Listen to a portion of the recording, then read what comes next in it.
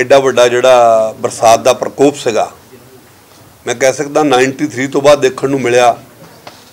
ਔਰ ਲੇਕਿਨ ਸਾਡੇ ਸੂਬੇ ਦੇ ਮਾਨਯੋਗ ਮੁੱਖ ਮੰਤਰੀ ਭਗਵੰਤ ਮਾਨ ਜੀ ਦੀ ਰਹਿਨੁਮਾਈ, ਜਿਹੜਾ ਉਹਨਾਂ ਨੇ ਪਹਿਲਾਂ ਅਲਰਟ ਐਡਮਿਨਿਸਟ੍ਰੇਸ਼ਨ ਨੂੰ ਕਰਤਾ ਸੀ, ਆਪਣੇ ਐਮਐਲਏ ਸਹਿਬਾਨ ਦੀ ਡਿਊਟੀ ਲਾਤੀ ਸੀ, ਔਰ ਪੰਜਾਬ ਦੇ ਲੋਕਾਂ ਨੂੰ ਆਹਵਾਨ ਕੀਤਾ ਸੀ, ਪੰਜਾਬ ਦੇ ਲੋਕਾਂ ਨੇ ਪਹਿਲਾਂ ਵੀ ਇਦਾਂ ਦੇ ਡਿਜ਼ਾਸਟਰਾਂ ਦਾ ਡਟ ਕੇ ਮੁਕਾਬਲਾ ਕੀਤਾ, ਜਦੋਂ ਬਰਸਾਤ ਸ਼ੁਰੂ ਹੋਈ ਹੈ, ਉਹਦਾ ਸਭ ਤੋਂ ਪਹਿਲਾ ਇੰਪੈਕਟ ਜਿਹੜਾ ਮੋਹਾਲੀ ਔਰ ਰੋਪੜ 'ਚ ਦੇਖਣ ਨੂੰ ਮਿਲਿਆ। ਔਰ ਬਾਕੀ ਹੌਲੀ ਹੌਲੀ ਕਰਦੇ, ਮੈਂ ਕਹਿ ਸਕਦਾ 14 ਤੋਂ ਜ਼ਿਆਦਾ ਜ਼ਿਲ੍ਹੇ ਜ਼ਿਆਦਾ ਪ੍ਰਭਾਵਿਤ ਹੋਏ ਆ।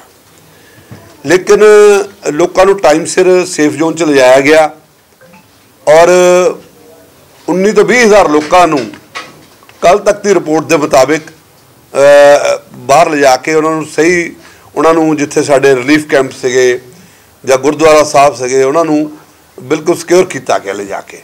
ਉਹਦੇ ਕਰਕੇ ਜਾਨੀ ਨੁਕਸਾਨ ਜਿਹੜਾ ਹੈ ਬਹੁਤ ਘੱਟ ਸੀ ਉਹਨੂੰ ਠੀਕ ਠਾਕ ਰੱਖਣ ਦੇ ਵਿੱਚ ਕੋਸ਼- ਕੋਸ਼ਿਸ਼ ਹੋਈ ਦੁੱਖ ਉਹਦਾ ਵੀ ਹੈ, ਜਿਹੜੇ 15 16 ਬੰਦਿਆਂ ਦੀ ਜਾਨ ਗਈ ਹੈ। ਔਰ ਮੈਂ ਕਹਿ ਸਕਦਾ ਜਿਹੜਾ ਹੁਣ ਮਾਲੀ ਨੁਕਸਾਨ ਹੋਇਆ, ਉਹਦੇ ਲਈ ਮਾਨਯੋਗ ਮੁੱਖ ਮੰਤਰੀ ਭਗਵੰਤ ਮਾਨ ਜੀ ਨੇ ਪਹਿਲਾਂ ਹੀ ਕਹਿ ਦਿੱਤਾ ਵੀ ਅਸੀਂ ਹਰੇਕ ਆਦਮੀ ਨੂੰ ਸਹਾਇਤਾ ਦਵਾਂਗੇ।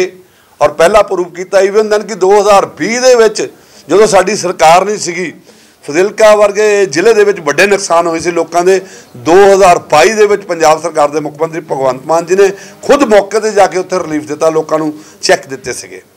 ਸੋ ਇਸ ਵੇਲੇ ਲੇਕਿਨ ਡਿਜ਼ਾਸਟਰ ਬਹੁਤ ਵੱਡਾ ਹੈ, ਨੁਕਸਾਨ ਬਹੁਤ ਬੜੇ ਲੈਵਲ ਦਾ ਆ। ਔਰ ਲੇਕਿਨ ਪੰਜਾਬ ਸਰਕਾਰ ਜਿਹੜੀ ਹੈ, ਦਿਨ ਰਾਤ ਮੁੱਖ ਮੰਤਰੀ ਜੀ ਖੁਦ ਗਰਾਊਂਡ ਜ਼ੀਰੋ ਤੇ ਰਹੇ ਆ ਸਾਡੇ ਸਾਰੇ ਹੀ ਇਲਾਕਿਆਂ ਦੇ ਮੰਤਰੀ ਸਹਿਬਾਨ ਜਿਹੜਾ ਜਿਹੜੇ ਜ਼ਿਲ੍ਹੇ ਨੂੰ ਬਿਲੋਂਗ ਕਰਦਾ ਸੀਗਾ, ਉੱਥੇ ਗਏ ਆ ਐਮਐਲਏ ਸਹਿਬਾਨ ਵਲੰਟੀਅਰ ਚੇਅਰਮੈਨ ਸਹਿਬਾਨ। ਹਰੇਕ ਆਦਮੀ ਪੰਜਾਬ ਦੇ ਸਾਰੇ ਲੋਕੀ ਵੀ ਵਿੱਚ ਇਕੱਠੇ ਹੋ ਕੇ ਲੋਕਾਂ ਨੇ ਮੁਕਾਬਲਾ ਕੀਤਾ ਔਰ ਪੰਜਾਬ ਕਾਫੀ ਹੱਦ ਤੱਕ ਹੁਣ ਆਸਤਾ ਆਸਤਾ ਕੁਝ ਇਲਾਕਿਆਂ ਨੂੰ ਛੱਡ ਕੇ, ਜਿਹਦੇ ਵਿੱਚ ਪਟਿਆਲੇ ਦੇ ਕੁਝ ਇਲਾਕੇ ਹੈਗੇ ਆ, ਸੰਗਰੂਰ ਦੇ ਇਲਾਕੇ ਅੱਜ ਕੱਲ ਮੁੱਖ ਮੰਤਰੀ ਜਾ ਕੇ ਆਏ ਆ, ਕਿਉਂਕਿ ਉਧਰ ਨੂੰ ਪਾਣੀ ਹਾਲੇ ਤੱਕ ਘੱਗਰ ਵਗੈਰਾ ਦਾ ਜਾ ਰਿਹਾ ਔਰ ਹਰੀਕੇ ਪੱਤਨ ਦਾ ਪਾਣੀ ਵੀ ਹੁਣ ਕਾਫੀ ਹੱਦ ਤੱਕ ਅੰਡਰ ਕੰਟਰੋਲ ਹੈ। ਲੋਹੀਆਂ ਦਾ ਇਲਾਕਾ ਜ਼ਰੂਰ ਹੈਗਾ ਜਿਹਦੀ ਆਪਾਂ ਅੱਜ ਵੀ ਦੇਖ ਰਹੇ ਹਾਂ, ਜਿੱਥੇ ਹਾਲ ਤੱਕ ਵੀ ਪਾਣੀ 3 ਤੋਂ 4 4 5 5 ਫੁੱਟ ਨਜ਼ਰ ਆ ਰਿਹਾ। ਲੇਕਿਨ ਸਰਕਾਰ ਵੱਲੋਂ ਐਡਮਿਨਿਸਟ੍ਰੇਸ਼ਨ ਨੇ ਵਧਾਈ ਦੀ ਪਾਤਰ ਹੈ ਸਾਰੇ ਜ਼ਿਲ੍ਹਿਆਂ ਦੀ ਐਡਮਿਨਿਸਟ੍ਰੇਸ਼ਨ ਵੀ ਉਹਨਾਂ ਨੇ ਬੜੀ ਅੱਛੀ ਤਰ੍ਹਾਂ ਇਸ ਚੀਜ਼ ਨੂੰ ਕਵਰ ਕੀਤਾ। ਸਰ ਕਿਉਂਕਿ ਜਿਹੜਾ ਲੋਹੀਆਂ ਦੀ ਤੁਸੀਂ ਗੱਲ ਕੀਤੀ ਹੈ ਕਿਉਂਕਿ ਹੁਣ ਜਿਹੜਾ ਅਪਡੇਟ ਹੈਗੀ ਹੈ ਕਿ ਜਿਹੜਾ ਸਤਲੁਜ ਦਾ ਜਿਹੜਾ ਹੈਗਾ ਉੱਥੇ ਕਾਲਾ ਪਾਣੀ ਜਿਹੜਾ ਹੈ ਉਹ ਸ਼ੁਰੂ ਹੋ ਚੁੱਕਿਆ ਕਿਉਂਕਿ ਨਾਲੇ ਦਾ ਜਿਹੜਾ ਪਾਣੀ ਹੈ ਹੁਣ ਆਬਵੀਅਸਲੀ ਬਿਮਾਰੀ ਜਾਂ ਮਹਾਮਾਰੀ ਨੂੰ ਲੈ ਕੇ ਵੀ ਕਿਉਂਕਿ ਇਸ ਤਰ੍ਹਾਂ ਦੀ ਚੀਜ਼ਾਂ ਹੋਈ ਹੈ ਉਹਦੀ ਕਿਸ ਤਰ੍ਹਾਂ ਦੇ ਅਰੇਂਜਮੈਂਟਸ ਸਰਕਾਰ ਵੱਲੋਂ ਕੀਤੇ ਜਾ ਰਹੇ ਨੇ? ਦੇਖੋ ਜਿੱਥੇ ਜ਼ਿਆਦਾ ਸਟਾਰਟਿੰਗ ਹੋਈ ਸੀ ਪਟਿਆਲੇ ਦੇ ਇਲਾਕੇ 'ਚ ਉੱਥੇ ਆਪਾਂ ਟੈਂਪਰੇਰੀ ਅਰੇਂਜਮੈਂਟ ਕੀਤੇ ਹੈਲਥ ਡਿਪਾਰਟਮੈਂਟ ਨੇ। ਟੈਂਪਰੇਰੀ ਉੱਥੇ ਬੈੱਡਸ ਦਾ ਇੰਤਜ਼ਾਮ ਕੀਤਾ ਗਿਆ ਡਾਕਟਰਸ ਦਾ ਇੰਤਜ਼ਾਮ ਕੀਤਾ ਗਿਆ। ਡੈਫੀਨੇਟਲੀ ਹੈ ਵੀ ਇੱਥੇ ਜਿੱਥੇ ਹੁਣ ਤੁਸੀਂ ਦੱਸਿਆ, ਇੱਥੇ ਵੀ ਜਿਹੜੀ ਜ਼ਿਲ੍ਹਾ ਐਡਮਿਨਿਸਟ੍ਰੇਸ਼ਨ ਹੈਗੀ, ਆਪਣੇ ਨਾਲ ਦੇ ਡਿਪਟੀ ਕਮਿਸ਼ਨਰ ਸਾਹਿਬ ਸਾਰਿਆਂ ਨੂੰ ਹੈਲਥ ਡਿਪਾਰਟਮੈਂਟ ਨੂੰ ਨਾਲ ਲੈ ਕੇ, ਕਿਉਂਕਿ ਸਾਡੇ ਡਾਕਟਰ ਬਲਵੀਰ ਜਿਹੜੇ ਹੈਲਥ ਮਿਨਿਸਟਰ ਹੈ ਉਹਨਾਂ ਦੀ ਬੜੀ ਇੱਥੇ ਉਹਨਾਂ ਨਿਗਾਹ ਰੱਖੀ ਹੈ, ਮੁੱਖ ਮੰਤਰੀ ਦੇ ਦੇਸ਼ ਦੇ ਉੱਤੇ, ਵੀ ਲੋਕਾਂ ਤੱਕ ਹਰ ਮੈਡੀਕਲ ਫੈਸਿਲਿਟੀ ਪਹੁੰਚਣੀ ਚਾਹੀਦੀ ਹੈ। ਦਵਾਈਆਂ ਦਾ ਪ੍ਰਬੰਧ ਤਾਂ ਸੀਗਾ ਲੇਕਿਨ ਡੈਫੀਨੇਟਲੀ ਉਹਦਾ ਟੈਂਪਰੇਰੀ ਅਰੇਂਜਮੈਂਟ ਸਾਡੇ ਕੋਲ ਹਰ ਇੱਕ ਜ਼ਿਲ੍ਹੇ 'ਚ ਹੈਗੇ ਆ। ਮਤਲਬ ਸਭ ਕਦੋਂ ਤੱਕ ਤੁਹਾਨੂੰ ਲੱਗਦਾ ਹੈ ਕਿ ਇਹ ਸਾਰੀ ਕੁਦਰਤੀ ਆਫਤ ਤੋਂ ਜਿਹੜਾ ਉਹ ਅਹ, ਇੱਕ ਤਰੀਕੇ ਦੇ ਨਾਲ ਨਿਜਾਤ ਉਹ ਲੋਕਾਂ ਨੂੰ ਮਿਲ ਸਕਦੀ ਹੈ? ਇਹਦੇ ਪਾਣੀ ਕਦੋਂ ਤੱਕ ਘਟਣ ਦੀ ਉਮੀਦ ਹੈ ਜਿਹੜਾ ਹੈਗਾ ਕਿਉਂਕਿ ਬਹੁਤ ਸਾਰੇ ਇਲਾਕੇ ਪਿਛਲੇ 4-5 ਦਿਨਾਂ ਤੋਂ ਲਗਾਤਾਰ ਡੁੱਬੇ ਹੋਏ ਨੇ ਲੋਕਾਂ ਦੇ ਘਰ। ਦੇਖੋ ਜਿੱਥੇ ਲੋ ਲਾਈਨ 'ਚ ਪਾਣੀ ਨਿਕਲ ਨਹੀਂ ਰਿਹਾ ਤੇਜ਼ੀ ਨਾਲ ਉੱਥੇ ਥੋੜੀ ਸਮੱਸਿਆ ਹੈ। ਔਰ ਜਿੱਥੇ ਪਾਣੀ ਨਿਕਲ ਕੇ ਦੂਜੇ ਪਾਸੇ ਜਾ ਰਿਹਾ ਉੱਥੇ ਆਸਤਾ ਆਸਤਾ ਨਿਕਲ ਰਿਹਾ ਜਿੱਥੋਂ ਪਾਣੀ ਪਿੱਛੋਂ ਆ ਰਿਹਾ। ਜਿੱਦਾਂ ਮਾਰਕੰਡੇ ਦਾ ਘੱਗਰ ਦਾ ਪਾਣੀ ਇਹ ਰਲ ਕੇ ਜਿਹੜਾ ਹੈਗਾ ਮਾਰ ਕਰ ਰਿਹਾ ਰਾਜਪੁਰਾ ਪਟਿਆਲੇ ਜੋ ਕਿ ਨਿਕਲ ਕੇ ਸੰਗਰੂਰ ਨੂੰ ਜਾ ਰਿਹਾ। ਉੱਥੇ ਥੋੜੀ ਜਿਹੀ ਸਮੱਸਿਆ ਹੈ, ਲੇਕਿਨ ਲੱਗਦਾ ਹੈ ਵੀ ਉਹ ਘਟ ਰਿਹਾ ਪ੍ਰੈਸ਼ਰ ਜਿਹੜਾ ਹੈਗਾ। ਉਹਦੇ ਨਾਲ ਜਲਦ ਮੈਨੂੰ ਲੱਗਦਾ ਇਹ ਇਲਾਕੇ ਵੀ ਕਵਰਿੰਗ 'ਚ ਆ ਜਾਣੇ ਆ। ਲੋਹੀਆਂ ਦਾ ਇਲਾਕਾ ਤੁਸੀਂ ਦੱਸਿਆ, ਅਗਰ ਲੋ ਲਾਈਨ ਹੈ, ਉੱਥੇ ਹਾਲੇ ਤਾਂ ਪਾਣੀ ਨਹੀਂ ਨਿਕਲ ਰਿਹਾ ਤੇਜ਼ੀ ਨਾਲ, ਉੱਥੇ ਥੋੜਾ ਟਾਈਮ ਟਾਈਮ ਲੱਗਦਾ। ਅਸੀਂ ਦੇਖਦੇ ਹਾਂ। ਸਰ, ਸੁਖਨਾ ਲੇਕ ਦੇ ਫਲੱਡ ਗੇਟ ਦੁਬਾਰਾ ਤੋਂ ਖੋਲੇ ਗਏ ਨਿਚਲੇ ਏਰੀਆ ਜਿਹੜੇ ਬਲਟਾਨਾ ਹੋ ਗਿਆ, ਜ਼ੀਰਕਪੁਰ ਹੋ ਗਿਆ, ਆਪਣੇ ਜ਼ਿਲ੍ਹੇ ਦਾ, ਉਹਦੇ 'ਚ ਕਿਤੇ ਨਾ ਕਿਤੇ ਕਿਉਂਕਿ ਡੇਂਜਰ ਜ਼ੋਨ ਤੇ ਹੁਣ ਜਿਹੜਾ ਵਾਟਰ ਲੈਵਲ ਉਹ ਵੱਧ ਚੁੱਕਾ ਹੈ। ਉਹਦੇ ਵਾਸਤੇ ਹੁਣ ਕਿਸ ਤਰ੍ਹਾਂ ਦੇ ਅਰੇਂਜਮੈਂਟਸ ਨੇ? ਡੈਫੀਨੇਟਲੀ ਸਾਡਾ ਇਰੀਗੇਸ਼ਨ ਡਿਪਾਰਟਮੈਂਟ ਜਿਹੜਾ ਹੈਗਾ ਉਹ ਜਿਹੜਾ ਡਿਪਟੀ ਕਮਿਸ਼ਨਰ ਦੇ ਨਾਲ ਉਹਨਾਂ ਦਾ ਹਰ ਵੇਲੇ ਤਾਲਮੇਲ ਹੈ। ਅਗਰ ਇਦਾਂ ਦੀ ਇਨਫੋਰਮੇਸ਼ਨ ਹੈ ਜਿੱਦਾਂ ਸਾਡੇ ਕੋਲ ਭਾਖੜਾ ਬਿਆਸ ਮੈਂ ਅਹ, ਦੀ ਗੱਲ ਸੀਗੀ ਵੀ ਉਹਨਾਂ ਨੇ ਕਿਹਾ ਸੀ ਪਾਣੀ ਛੱਡਣਾ ਵੱਡੀ ਰਿਊਮਰ ਫੈਲ ਗਈ ਲੋਕ ਦੁਆਰਾ ਘਬਰਾ ਗਏ ਪੈਨਿਕ ਹੋ ਗਿਆ ਵੀ ਅਗਰ ਭਾਖੜੇ ਨੇ ਪਾਣੀ ਛੱਡਿਆ ਤੇ ਜਿਹੜੇ ਆਲਰੇਡੀ ਏਰੀਆ ਨੂੰ ਮਾਰ ਕਰ ਰਿਹਾ ਉਹ ਪਾਣੀ ਉਹ ਫਿਰ ਦੁਆਰਾ ਡੁੱਬੂਗੇ।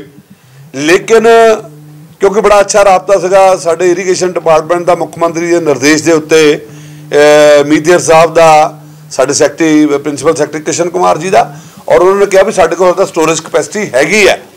ਔਰ ਉਹਨਾਂ ਨੇ ਸਾਡੇ ਨਾਲ ਕੋਆਰਡੀਨੇਟ ਕੀਤਾ ਮੈਂ ਕਹਿ ਸਕਦਾ।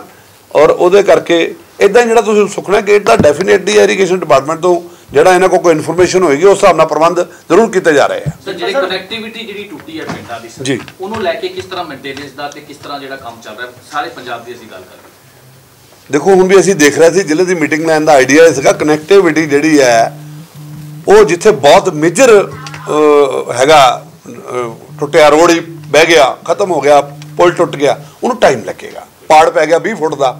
ਮੈਂ ਦੇਖਿਆ ਤਾਂ ਮਰਿੰਡੇ ਵਾਲੀ ਰੋਡ ਤੇ ਜਾ ਕੇ ਆਇਆ ਸੀ ਮੈਂ ਉਸ ਦਿਨ। ਉਹ ਵੱਡੇ ਪਾੜ ਹੈ। ਉਹਨਾਂ ਨੂੰ ਟਾਈਮ ਲੱਗ ਸਕਦਾ। ਲੇਕਿਨ ਜਿਹੜੇ ਛੋਟੇ ਇਲਾਕਿਆਂ ਦੇ ਨਾਲ ਜੋੜਿਆ ਜਾ ਸਕਦਾ, ਜਿੱਦਾਂ ਇਹਨਾਂ ਨੇ ਹੁਣ ਪਿੰਡਾਂ ਦੱਸਿਆ, ਕਹਿੰਦੇ ਉਹਨੂੰ ਸਾਰੀ ਆਪਾਂ ਕੋਈ ਐਸਾ ਹੁਣ ਇਲਾਕਾ ਨਹੀਂ ਹੈ ਮੋਹਾਲੀ ਦੇ ਵਿੱਚ, ਜਿੱਥੇ ਲੋਕਾਂ ਨੂੰ ਰਸਤਾ ਨਹੀਂ ਹੈ ਜਾਂ ਕਨੈਕਟੀਵਿਟੀ ਟੁੱਟੀ ਪਈ ਉੱਥੇ। ਜੀ ਪਤਾ ਖਰੜ ਹਲਕੇ 'ਚ ਪਿੰਡ ਪੈਂਦਾ ਟਾਂਡਾ ਕਰੂਰਾ। ਤੇ ਉੱਥੋਂ ਪਿੰਡਾਂ ਦੇ ਲੋਕਾਂ ਦੇ ਕਾਫੀ ਫੋਨ ਆਉਂਦੇ ਪਏ ਨੇ ਕਹਿੰਦੇ ਇੱਥੇ ਹਜੇ ਤੱਕ ਪ੍ਰਸ਼ਾਸਨ ਦਾ ਕੋਈ ਬੰਦਾ ਨਹੀਂ ਪਹੁੰਚਿਆ ਜੀ। ਜ਼ਰੂਰ ਡੈਫੀਨੇਟਲੀ ਪੰਜ ਜਿਹੜੀਆਂ ਪੁਲੀਆਂ ਨੇ ਉਹ ਟੁੱਟ ਚੁੱਕੀਆਂ ਨੇ ਬਿਲਕੁਲ ਹੀ।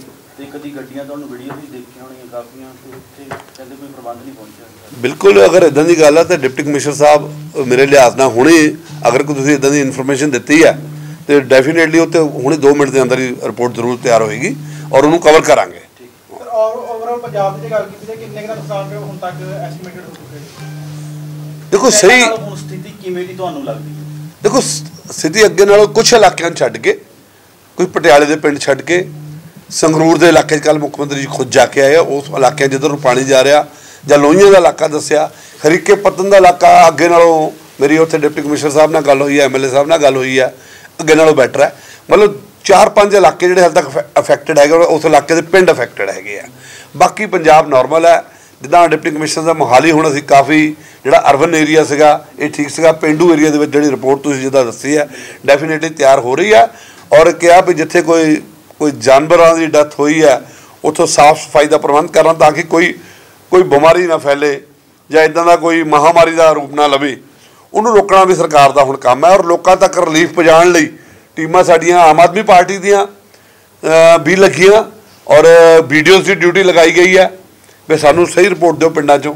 ਔਰ ਜਿਹੜਾ ਤੁਸੀਂ ਸਹੀ ਆਕਲਨ ਹੈਗਾ ਵੀ ਕਿੰਨਾ ਨੁਕਸਾਨ ਹੋਇਆ, ਇਹ ਜਲਦ ਨਿਕਲ ਕੇ ਨੂੰ ਹਾਲ ਤਾਂ ਮੈਨੂੰ ਲੱਗਦਾ ਵੀ 2-4 ਦਿਨ ਸਾਨੂੰ ਵੇਟ ਕਰਨੀ ਪੈਣੀ ਸਹੀ ਤਰੀਕੇ ਨਾਲ। ਇਹ ਆਪਾਂ ਦੱਸਾਂਗੇ ਵੀ ਜਿਹੜੀ ਜ਼ਮੀਨ ਕਿਹੜੀ ਹੈ ਸਾਡੀਆਂ ਫਸਲਾਂ ਦਾ, ਖਾਸ ਤੌਰ ਤੇ ਜ਼ਿਮੀਦਾਰਾਂ ਦਾ ਨੁਕਸਾਨ ਕਿੰਨਾ ਜ਼ਿਆਦਾ। ਸਾਨੂੰ ਪਤਾ 60 ਤੋਂ 70 ਘਰ ਡਿਗੇ ਆ। ਉਹ ਸਾਡੇ ਸਾਹਮਣੇ ਆ ਗਿਆ। ਲਾਈਫ ਲਾਸ ਸਾਹਮਣੇ ਆ ਗਿਆ। ਉਹ ਵੱਡੀ ਕਾਮਯਾਬੀ ਜਿਹੜੀ ਤੁਹਾਨੂੰ ਰਹੀ ਹੈ, ਆਪਾਂ ਜਾਨੀ ਨੁਕਸਾਨ ਨੂੰ ਰੋਕਣ 'ਚ ਕਾਮਯਾਬ ਰਹੇ ਹਾਂ। ਮਾਲੀ ਨੁਕਸਾਨ ਨੂੰ ਪੂਰਾ ਕਰਨ ਦੀ ਕੋਸ਼ਿਸ਼ ਕੀਤੀ ਜਾ ਸਕਦੀ ਹੈ, ਲੇਕਿਨ ਜਾਨੀ ਨੁਕਸਾਨ ਦਾ ਤਾਂ ਕੋਈ ਤੋੜ ਹੀ ਨਹੀਂ ਹੁੰਦਾ, ਅਸੀਂ ਦੇਖਦੇ ਹਾਂ। ਉਹਦੇ 'ਚ ਪੰਜਾਬ ਸਰਕਾਰ ਦੇ ਜਿਹੜੇ ਸਾਰੇ ਐਡ- ਜ਼ਿਲ੍ਹਾ ਐਡਮਿਨਿਸਟ੍ਰੇਸ਼ਨ ਦਾ, ਸਾਡੇ ਸਾਰੀ ਸਰਕਾਰ ਦਾ ਮੁੱਖ ਮੰਤਰੀ ਜੀ ਦਾ ਜਿਹੜਾ ਦਿਸ਼ਾ ਨਿਰਦੇਸ਼ ਦੇ ਉੱਤੇ ਤੇ ਅਮਲ ਕਰਨ ਦੇ ਨਾਲ ਅਸੀਂ ਕਾਫੀ ਹੱਦ ਤੱਕ ਕਾਮਯਾਬ ਰਹੇ ਹਾਂ। ਜਿਹੜੇ 15 ਡੈਥ ਹੋਈਆਂ ਸਾਨੂੰ, ਉਹਨਾਂ ਦਾ ਵੀ ਬਹੁਤ ਅਫਸੋਸ ਹੈ। ਕੁਝ ਮਿਸਿੰਗ ਦਾ ਵੀ ਹਾਲ ਤੱਕ ਹੈਗਾ। ਲੇਕਿਨ, ਜਿਹੜਾ ਆਪਾਂ ਕਹਿ ਸਕਦੇ ਹਾਂ ਓਵਰਆਲ ਅੱਗੇ ਨਾਲੋਂ ਸਿਚੁਏਸ਼ਨ ਬਹੁਤ ਇੰਪਰੂਵ ਹੈ। ਔਰ ਜਿਹੜਾ ਸਹੀ ਆਕਲਨ ਆਇਆ ਲੋਕਾਂ ਨੂੰ ਉਹਦੇ ਮੁਤਾਬਿਕ ਹਰੇਕ ਤਰ੍ਹਾਂ ਦੀ ਸਹਾਇਤਾ ਰਾਸ਼ੀ ਦਿੱਤੀ ਜਾਊ। ਸਰ, ਇੱਕ ਸਵਾਲ ਹੈ, ਕੁਦਰਤੀ ਮਾਰ ਹੋਈ ਹੈ, ਜਿੱਦਾਂ ਤੁਸੀਂ ਵੀ ਦੱਸਿਆ। ਅੱਗੇ ਇਸ ਤਰ੍ਹਾਂ ਦੀ ਬਾਈ ਚਾਂਸ ਕੋਈ, ਹਾਲਾਂਕਿ ਨਾ ਹੋ ਸਿਚੁਏਸ਼ਨ ਲੇਕਿਨ ਇਸ ਤਰ੍ਹਾਂ ਦੀ ਕੋਈ ਸਿਚੁਏਸ਼ਨ ਹੁੰਦੀ ਹੈ ਤਾਂ ਕਿਸ ਤਰ੍ਹਾਂ ਦੀ ਪ੍ਰੀਪਰੇਸ਼ਨ ਚਲੋ, ਇਹ ਤਾਂ ਚੀਜ਼ਾਂ ਹੋ ਗਈ, ਕੁਦਰਤੀ ਮਾਰ ਹੋਈ, ਜਿਸ ਤਰ੍ਹਾਂ ਦੀ ਨੁਕਸਾਨ ਹੋਇਆ ਲੋਕਾਂ ਦਾ, ਪੂਰੇ ਪੰਜਾਬ 'ਚ ਦੇਖਿਆ। ਅੱਗੇ ਇਨ ਫਿਊਚਰ ਇਸ ਤਰ੍ਹਾਂ ਦੀ ਚੀਜ਼ਾਂ ਨਾ ਹੋਣ। ਉਹਨੂੰ ਲੈ ਕੇ ਵੀ ਕੋਈ ਰਣਨੀਤੀ ਤਿਆਰ ਕੀਤੀ ਜਾ ਰਹੀ ਹੈ ਸਰਕਾਰ ਵੱਲੋਂ। ਦੇਖੋ, ਰਣਨੀਤੀ ਤਾਂ ਜਿਹੜੇ ਅਸੀਂ ਦੇਖਦੇ ਪੂਰੇ ਵਰਲਡ ਦੇ ਵਿੱਚ ਜਦੋਂ ਭਾਰੀ ਬਰਸਾਤ ਹੁੰਦੀ ਹੈ 662 ਐਮਐਮ ਬਰਸਾਤ ਤੁਹਾਡੇ ਇੱਥੇ ਹੋਈ ਹੈ। ਨਾਰਮਲ ਤੁਹਾਡੀ 100 ਤੋਂ ਥੱਲੇ ਜਾਂ 120 ਹੋ ਗਈ ਜਾਂ ਕਿਤੇ ਹੋ ਗਈ। ਤੇ ਉਹਦਾ ਤਾਂ ਦੁਨੀਆ ਦੇ ਵਿੱਚ ਕੋਈ ਅਸੀਂ ਦੇਖਦੇ ਆ ਤੁਸੀਂ ਦੇਖੋ, ਵਰਲਡ ਦੇ ਤਾਂ ਅਸੀਂ ਟੈਲੀਵਿਜ਼ਨ ਦੇਖਦੇ ਜਦੋਂ ਦੇਖਦੇ ਹਾਂ ਤਾਂ ਉੱਥੇ ਉਹ ਇੱਕ ਅਲੱਗ ਚੀਜ਼ ਹੁੰਦੀ ਹੈ। ਉਹ ਹਾਲਾਤ ਇੱਕ ਅਲੱਗ ਹੁੰਦੇ ਆ। ਲੇਕਿਨ ਜਿਹੜੇ ਦਰਿਆ ਲਗਾਤਾਰ ਮਾਰ ਕਰਦੇ ਆ, ਜਿੱਦਾਂ ਘੱਗਰ ਲਗਾਤਾਰ ਮਾਰ ਕਰਦਾ ਆ ਰਿਹਾ ਸੀ ਪਿੱਛੋਂ ਸਾਨੂੰ, ਇਹਨਾਂ ਚੀਜ਼ਾਂ ਨੂੰ ਕਿੱਦਾਂ ਕਵਰ ਕਰਨਾ ਸਰਕਾਰ ਇਹ ਤੇ ਫੋਕਸ ਕਰੇਗੀ? ਅਰਬਨ ਏਰੀਆ ਦੇ ਵਿੱਚ, ਜਿਹੜੇ ਏਰੀਆ ਦੇ ਵਿੱਚ ਖਾਸ ਤੌਰ ਤੇ ਪਾਣੀ ਨਿਕਲਣ 'ਚ ਪ੍ਰੋਬਲਮ ਆ ਰਹੀ ਹੈ, ਪਾਣੀ ਦੀ ਉਹਨੂੰ ਆਊਟਲੈਟ ਜਿਹੜੀ ਚਾਹੀਦੀ ਹੈ ਜਾਣ ਨੂੰ, ਨਿਕਲਣ ਨੂੰ, ਉਹਨਾਂ ਦੇ ਉੱਤੇ ਡਿਪਟੀ ਕਮਿਸ਼ਨਰ ਸਹਿਬਾਨ ਸਾਰੇ ਮਹਿਕਮੇ ਨੂੰ ਨਾਲ ਲੈ ਕੇ ਦੇਖੂਗੇ ਵੀ ਕਿਦਾਂ ਵੀ ਪਾਣੀ ਅਗਰ ਆ ਜਾਂਦਾ, ਤਾਂ ਉਹ- ਉਹਦਾ ਰਸਤਾ ਪ੍ਰੋਪਰ ਰਵੇ। ਇਹ ਚੀਜ਼ਾਂ ਨੂੰ ਜ਼ਰੂਰ ਡੈਫੀਨੇਟਲੀ ਸਰਕਾਰ ਕਵਰ ਕਰਨ ਦੀ ਕੋਸ਼ਿਸ਼ ਕਰੇਗੀ। ਮੰਤਰੀ ਸਾਹਿਬ ਸੂਬਾ ਸਰਕਾਰ ਨੇ ਤਾਂ 33 ਕਰੋੜ ਦੀ ਰਾ- ਜਿਹੜੀ ਰਾਸ਼ੀ ਸੀ ਰਾਹਤ ਫੰਡ ਸੀਗਾ ਉਹ ਜਾਰੀ ਕਰ ਦਿੱਤਾ ਸੀਗਾ ਤੇ ਕੇਂਦਰ ਨੇ ਵੀ 218 ਕਰੋੜ ਜਿਹੜਾ ਉਹ ਇੱਕ ਤਰੀਕੇ ਨਾਲ ਕਰ ਦਿੱਤਾ ਤੇ ਉਹਦੀ ਕੀ ਸਥਿਤੀ ਹੈ? ਕਦੋਂ ਤੱਕ ਤੁਹਾਡੇ ਕੋਲ ਪਹੁੰਚੇਗਾ? ਤੇ ਕਦੋਂ ਤੱਕ ਉਹ ਲੋਕਾਂ ਦੇ ਉੱਤੇ ਜਿਹੜਾ ਉਹ ਲੱਗੇਗਾ? ਦੇਖੋ ਮੁੱਖ ਮੰਤਰੀ ਸਾਹਿਬ ਨੇ ਭਗਵੰਤ ਮਾਨ ਜੀ ਨੇ 33.5 ਕਰੋੜ ਰੁਪਏ ਦੀ ਰਾਸ਼ੀ ਜਿਹੜੀ ਹੈ ਜਦੋਂ ਸਿਚੁਏਸ਼ਨ ਸ਼ੁਰੂ ਹੋਈ ਸੀ ਉਦੋਂ ਜ਼ਿਲ੍ਹਾ ਡਿਪਟੀ ਕਮਿਸ਼ਨਰ ਨੂੰ ਭੇਜ ਦਿੱਤੀ ਪੰਜਾਬ ਦੇ ਸਾਰਿਆਂ ਨੂੰ। ਵੀ ਆਪਣੇ ਲੈਵਲ ਦੇ ਉੱਤੇ ਉਹ ਕਿਤੇ ਐਮਰਜੈਂਸੀ ਫੰਡਸ ਦੇ ਰੂਪ ਚ ਉਹਨੂੰ ਯੂਜ਼ ਕਰ ਸਕਦੇ ਆ ਸਹਾਇਤਾ ਰਾਸ਼ੀ ਕਿਸੇ ਵੀ ਤਰ੍ਹਾਂ। ਕਿਸੇ ਮਸ਼ੀਨਰੀ ਦੀ ਲੋੜ ਪੈ ਜਾਂਦੀ ਹੈ ਕਿਸੇ ਚੀਜ਼ ਨੂੰ ਲੋੜ ਪੈ ਜਾਂਦੀ ਹੈ ਆਪਣੇ ਲੈਵਲ ਦੇ ਉੱਤੇ। ਉਸ ਤੋਂ ਬਾਅਦ ਮੁੱਖ ਮੰਤਰੀ ਜੀ ਨੇ 71 ਕਰੋੜ ਰੁਪਏ ਦੀ ਰਾਸ਼ੀ ਸਾਡੇ ਕੋਲ 218 ਕਰੋੜ ਦੀ ਰਾਸ਼ੀ ਆਉਣ ਤੋਂ ਪਹਿਲਾਂ ਹੀ ਉਹਨੂੰ ਜਾਰੀ ਕਰਤਾ ਸੀ। ਇਟ ਮੀਨਸ 110 ਕਰੋੜ ਰੁਪਏ ਦੇ 100 ਅਹ, ਦੇ ਕਰੀਬ ਜਾਰੀ ਕਰਤਾ ਗਿਆ ਸੀ ਪਹਿਲਾਂ ਹੀ। ਪੰਜਾਬ ਸਰਕਾਰ ਵੱਲੋਂ ਉਹਨੂੰ ਜਿਹੜੇ ਜ਼ਿਲ੍ਹਾ ਲੈਵਲ ਦੇ ਜਿੱਦਾਂ ਕਿ ਡਿਪਟੀ ਕਮਿਸ਼ਨਰ ਸਾਹਿਬ ਨੇ ਦੱਸਿਆ ਕੱਲ ਸਾਨੂੰ ਇਹਨਾਂ ਨੂੰ ਹੋਰ ਫੰਡਸ ਆ ਗਏ ਸੀ। ਔਰ ਸਾਡੇ ਜਿਹੜੀ ਆਪਾਂ ਰੈਵਨਿਊ ਡਿਪਾਰਟਮੈਂਟ ਉਹ ਮੁੱਖ ਮੰਤਰੀ ਦੇ ਦੇਸ਼ ਤੇ ਮੀਟਿੰਗ ਹੋਈ ਸੀ ਜ਼ਿਲ੍ਹਾ ਡਿਪਟੀ ਕਮਿਸ਼ਨਰ ਸਾਹਿਬ। ਉਹਦੇ ਵਿੱਚ ਸਾਡੇ ਡਿਪਾਰਟਮੈਂਟ ਨੇ ਪਹਿਲਾਂ ਇੱਕ ਇਨਸ਼ੋਰ ਕਰ ਦਿੱਤਾ ਸੀ ਅ, ਵੀ ਕਿਸੇ ਚੀਜ਼ ਦੇ ਫੰਡਸ ਦੀ ਕਮੀ ਤੁਹਾਨੂੰ ਨਹੀਂ ਆਏਗੀ ਪੰਜਾਬ ਸਰਕਾਰ ਵੱਲੋਂ ਨੰਬਰ 1 ਹੁਣ ਐਡਾ ਵੱਡਾ ਡਿਜ਼ਾਸਟਰ ਹੈ। 218 ਕਰੋੜ ਜਿਹੜੀ ਰਾਸ਼ੀ ਹੈ ਕਿਉਂਕਿ ਸੈਂਟਰ ਸਰਕਾਰ ਦੀ ਡਿਊਟੀ ਬੰਦੀ ਹੈ ਅੱਗੇ ਆ ਕੇ ਦੇਣਾ। ਨੈਚੁਰਲ ਡਿਜ਼ਾਸਟਰ ਫੰਡ ਸਰਕਾਰਾਂ ਨੇ ਉਹਨਾਂ ਦੇ, ਉਹਨਾਂ ਨੇ ਦੇਣਾ ਸੀਗਾ ਇਹ। ਲੇਕਿਨ ਸਵਾਲ ਇਸ ਗੱਲ ਦਾ ਹੈ ਵੀ ਡਿਜ਼ਾਸਟਰ ਤਾਂ ਬਹੁਤ ਵੱਡੇ ਲੈਵਲ ਦਾ ਆ ਔਰ ਨੁਕਸਾਨ ਅਰਬਾਂ ਰੁਪਏ ਦਾ ਆ।